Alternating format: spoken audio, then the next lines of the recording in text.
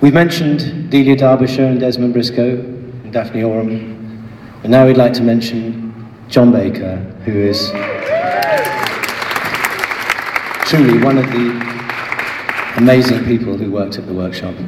And he was also a very good jazz musician, and he used to like to combine his uh, jazz with uh, weird and wonderful sounds like blowing over bottles and all that sort of stuff. And so this is a tribute to John, and you may find one or two other people will be joining in with it later on. And by the way, you might want to guess which programs the, uh, the tunes you hear were associated with. John Baker. When a